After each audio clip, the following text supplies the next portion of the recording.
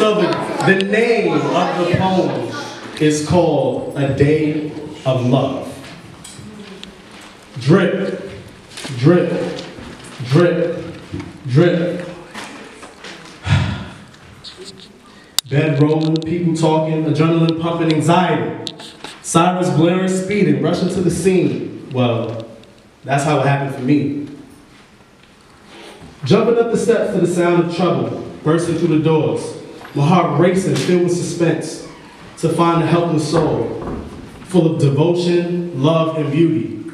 Dulcie Louise Bryson, the one that lives through me. On the day of love, it almost turned into tragedy. Walking in to find my grandmother on the floor really had me. Standing there clueless to the situation, sweaty palms, head spinning, and my body shaking. I didn't know what to do to see her there, not able to move a bone in her body. A scared feeling embraced me, sending me into a state of panic, unable to maneuver properly to be able to help her. Thoughts of eternal injury and death flashed across my mind, soon after causing me to cry.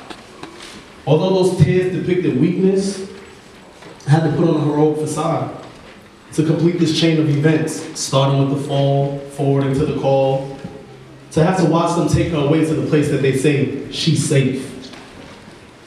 So, in her eyes, it really happened as rushing to the scene, speeding, sirens blaring, anxiety, adrenaline pumping, people talking, beds rolling, drip, drip, drip, drip, backwards to mine. Guilt was set upon my shoulders because I felt like I should have been there. But all I know is that February 14th would have been a big date to remember. But if it wasn't for the grace of God, my family would have mourned forever.